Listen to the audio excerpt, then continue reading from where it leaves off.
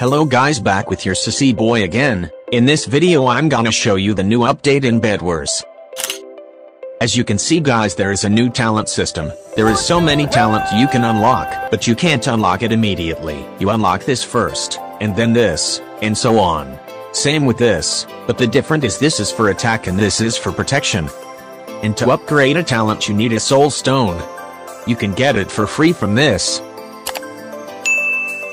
And this.